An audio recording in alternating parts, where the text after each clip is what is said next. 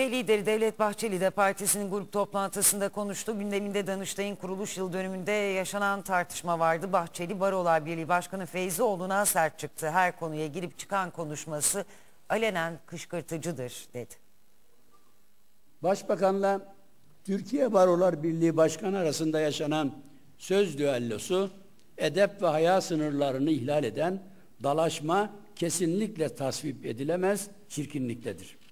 Yüksek yargı organlarının özel ve kutlama günleri siyasete ayar verilecek ucuz yerler değildir ve böyle de görülmemelidir.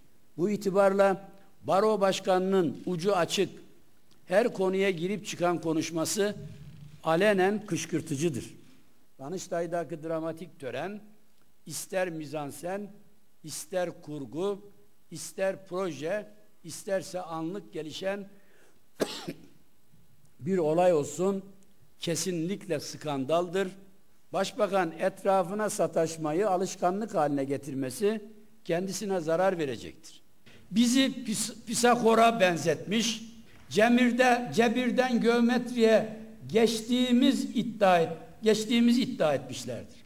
Şimdi Cemir, Cebir'den ümit kes, kesen, kestiler. Biz başbakana Cebir'i zor da olsa öğretmiş ve bu konuda ufkunu açmıştı. Fakat başbakan geometri konusunda bize haksızlık yapmaktadır. Biraz düşünürse geometrik şekillerde kimin usta ve önde olduğunu fazla ipucuna gerek kalmadan çıkaracaktır.